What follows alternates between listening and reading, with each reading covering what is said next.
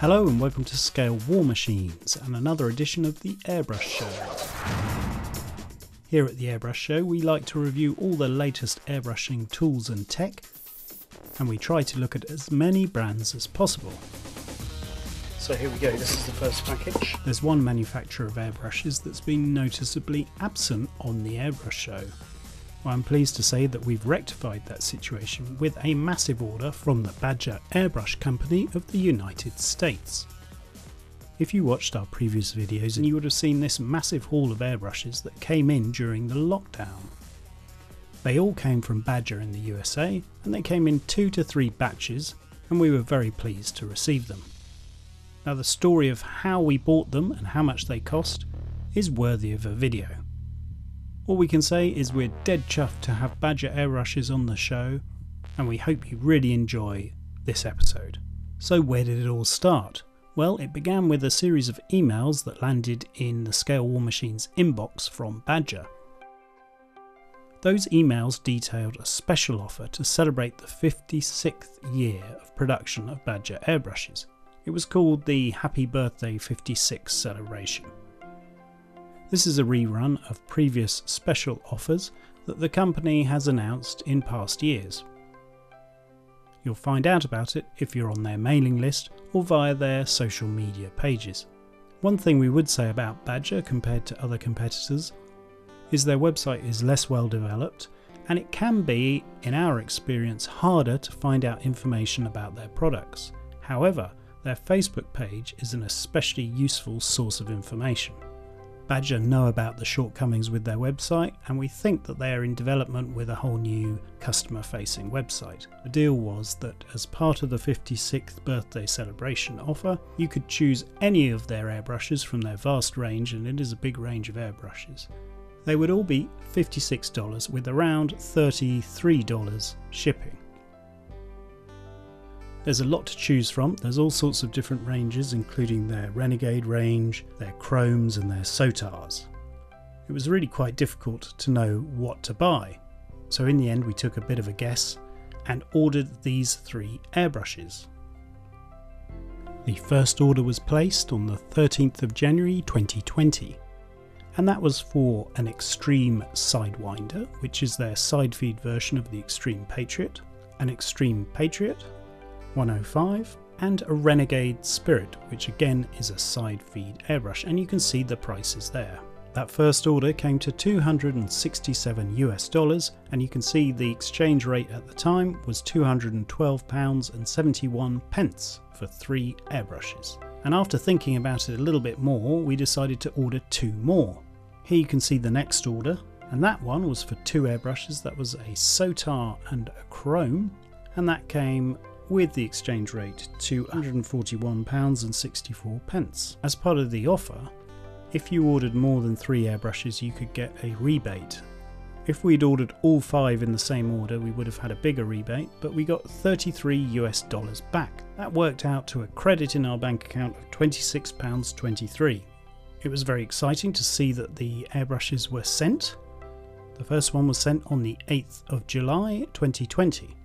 Now, if you noticed on the PayPal receipt, it stated very clearly as part of the offer that you had to wait up to six months. In fact, there are a set of rules that you had to obey, and one of them was that you had to be patient. Exercise rule number one. It was really exciting, therefore, to see the first shipment going in July. Also, via the social media pages of Facebook pages of Badger, there were regular updates about the amount of airbrushes that had been ordered, the quantity that had been manufactured, and the amount of orders that were still awaiting fulfillment. And here you can see the number of total orders. Furthermore, there were regular social media posts showing them all being packaged up and being sent. Around this time in June, we still hadn't received any of the first airbrushes, but there was another offer an opportunity to buy a special gold limited edition Sotar. That came in at $129 or so, about £108. We couldn't resist that, so we added that to the order as well. Once again, into our inbox, a posting confirmation email arrived. Then, after a long wait, the packages began to arrive. Now, this is the first order, but this actually arrived second. And the reason it took so long was it was trapped in customs because of the coronavirus outbreak. In fact, after it was posted in July, we didn't hear anything about this particular order for many, many months. And eventually, it was released and arrived. So here they are. There's the Spirit airbrush on the left with the side feed. Here you can see the Sidewinder, and what's noticeable is the high roller trigger. Again, that's at the side feed. And this one is the Extreme Patriot 105 with a standard gravity feed cup. These are all great airbrushes, they looked fantastic, we were overjoyed to get them after such a long wait, and they will feature in future airbrush show films. What we'll be looking at today came with the second batch that actually arrived first, and this is what we'll be looking at today the Sotar 2020. This was an airbrush that immediately caught our eye. It was different, felt distinctive, and has a very different ergonomic feel from all the other airbrushes, or indeed any airbrushes we've used before. As part of the offer, all the airbrushes were shipped in these soft leather pouches with a drawstring, and that's how the Sotar arrived. These in effect are the two airbrushes that we ordered second in late January, the Sotar and the Chrome. These were held in UK customs and there was an additional £15.32 to pay. Let's take a detailed look then at the Sotar 2020. You've got the airbrush, a small instruction leaflet, and a little Allen key wrench for the paint volume limiter, which you'll find at the end of the airbrush. There's also a little customer service card with details about how to get support and the all important Facebook group because that really is important and where you'll get the most information about Badger products for the time being. Otherwise, the leather pouches are really handy and a good way to store the airbrushes in a drawer, for example. The first thing that kind of strikes you is firstly the compactness of this airbrush, but also that it ships with these little rubber covers for the nozzle and for the paint cup. Those are quite important because on the Sotar the needle is exposed. It points right out from the tip and you have to be very careful not to damage it. Other things that are noteworthy is you get a little stubby sort of trigger that's circular and then inside you can see some of the detail of the construction. It clearly has a coating on it, this black coating, and it appears to have some sort of brass or nickel alloy construction. There's engraving on the side which says the words you can see here and carries the brand name of the airbrush. You get a fairly simple photocopy that explains the parts list and how to use the Sotar. And here again it's not flashy or elaborate, it's just simple and functional. And also you can see that it carries a warranty with the name of Ken at Badger and you'll see Ken if you follow them on Facebook. Ken regularly does a feature called Lazing on a Sunday Afternoon, and that was very useful to understand more about their products. So, what are the first thoughts about the Sotar? Well, it looks well constructed. What is immediately obvious is how near the paint cup is to the needle. That is really what sets this airbrush apart. At the other end, you'll find that there's a paint volume limiter that you can set to various settings and that limits the rearward travel of the needle. You'll see that in very many different designs of airbrush. One neat feature is that you can zero the paint flow limiter either in the minimum or maximum position using the hex Allen key provided. One notable feature we really like is there's a small ring that can be tightened or loosened to adjust the tension on the trigger. You can see it just here. There you can see the travel on the trigger and you can access the locking nut on the needle holder quite easily. If you loosen the nut you can release the needle from the rear of the airbrush. It's worth noting that some Badger airbrushes come with the needle retracted and so you will need to release it and push it forwards to get correct operation.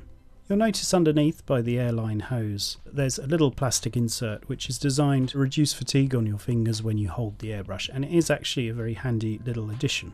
You can undo or tighten the finger guard using the supplied Allen key. Other than that it feels sturdy and well made. Since we filmed this we've used the airbrush quite extensively and that black coating has proved to be very durable.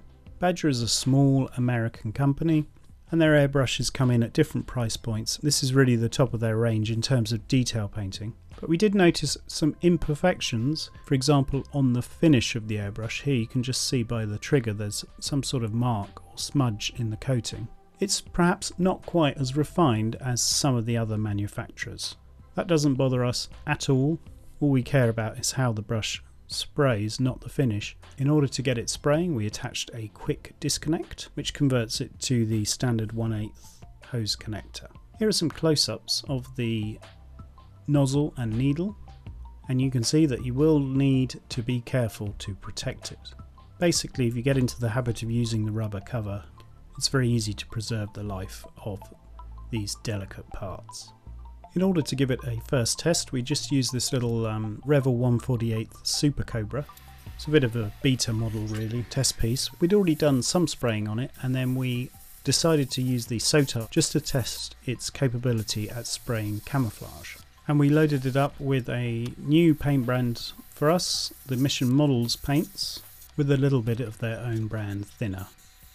Straight away you see that the SOTAR is almost pen-like in its operation. It's very, very nice to use, especially for detailed work. The fact your finger is so close to the paint cup and the paint cup is so close to the subject makes it a really smooth and easy process to paint detail and that was the whole design of this airbrush. You can really get right up close to a subject. There's great visibility over the top of it or to the side and it really is extremely precise. What we would say is all of these airbrushes and most airbrushes we've tested are capable of extremely fine lines and this is no exception. Now we're not entirely used to this paint brand but it did a great job straight out of the box, as did the paints. Really, in terms of fine lines, it's knowing what paint to use and how much to dilute it and also what pressure dictates it. But it was immediately obvious using this airbrush for the first time that it's a very fine detail airbrush, capable of extremely fine lines. But because 2020 is such a memorable year, we couldn't resist getting the gold limited edition 2020 Year of the SOTAR airbrush. That arrived in December, and on opening the package, you can see it came with a special certificate of appreciation and authenticity, and this is number 37 of the limited edition run of 200. This will make a great addition next to its little sister airbrush, the black SOTAR. Here you can see what we went for packaging outwardly is exactly the same, but inside is this little golden jewel. Noticeably different in terms of appearance, in that several of the items that were kind of silvery are black on this, and of course the exterior is gold, and there's also that engraving 2020 year of the SOTAR. What better way to remember a very strange year than having a golden airbrush? Now, there are some interesting detail points about the gold SOTAR compared to the black SOTAR. Yes, it comes with the same plastic components like the cap for the paint cup and the nozzle protection and the little finger rest at the base of the airbrush. But what's interesting is that the trigger angle is different. You'll notice on the gold SOTAR that the trigger is roughly the same height, but it's canted a bit more forwards. It's a little bit nearer the paint cup and the angle is markedly different. We'll show you this by comparing it with the black SOTAR. Also there's some slight differences in manufacturing. You can just see there's a slight difference in the paint cup, especially around the area where the needle travels through it. We're just going to put this down to little tweaks in design and improvements that you expect from any manufacturing company, but it's interesting to note the differences. What we'd say is the trigger angle on the gold one is definitely better. Having that little bit more of an aggressive slant on it means that the purchase of your finger on that trigger is even better. If there were to be one criticism of the black SOTAR, it's that conceivably, because it's quite upright and it's got a circular trigger, your finger could arguably slip off that a little bit. This improvement really changes that and negates any danger of your finger slipping off the trigger. In order to test this one out then, bearing in mind essentially it's the same airbrush but with some slight tweaks, we mixed up a bit of AK Interactive black primer with some thinners and set about doing some tests of detail painting. First of all you can see that it's kind of maximum paint spread but this is an airbrush that isn't really designed for base coats or covering a whole model. This is designed for picking out intricate details, but nevertheless it sprays really well and both airbrushes atomize paint extremely well. The fact that the needle is exposed means you can remove any paint buildup or paint tip drying as some people call it. It's quite easy just to pick it off or clean it off with a brush. Here are the detail shots to show just what the SOTAR 2020 is capable of. We decided to post shade our test piece, this Sherman hull that we've used in countless videos. It was painted with acrylics, a mixture of black and brown, and here again we're still getting used to this airbrush but it was really a joy to spray. It was great at picking out all these little details in terms of post shading, trying to trace panel lines and features on the structure. It really did excel at that. But if you're looking for a fine super detail airbrush then the SOTAR 2020 is a great choice. We've really enjoyed using it ever since we got it. Both of them are pretty much the same in terms of usage. We're sure that the Badger will update the normal SOTAR 2020 with the same features on the gold one. But in terms of price, we're just going to quickly give you a price breakdown. So the question is how much did it all cost and how much did each airbrush cost? Here are all the figures in terms of what was paid including customs and rebates and so on for all the airbrushes. We got six airbrushes in total, and that came to £472.96. That works out at £78 each. The retail price of all these airbrushes is considerably more than that. The retail price for the SOTAR, for example, is around £140 approximately. So, getting these airbrushes at this price, making use of the deal, was just fantastic. And for £78, which is what it came to, both of these airbrushes are fantastic. They are easily worth their normal retail price, and we can't recommend these airbrushes highly enough. If, like us, you're kind of hesitating and not sure about these airbrushes because there's not a whole load of information out there, rest assured that they're really good, excellent for detailed work, easy to use, they just feel great in the hand. And the SOTARs are extremely good, well made airbrushes. Hopefully you found that useful and you've enjoyed watching this video.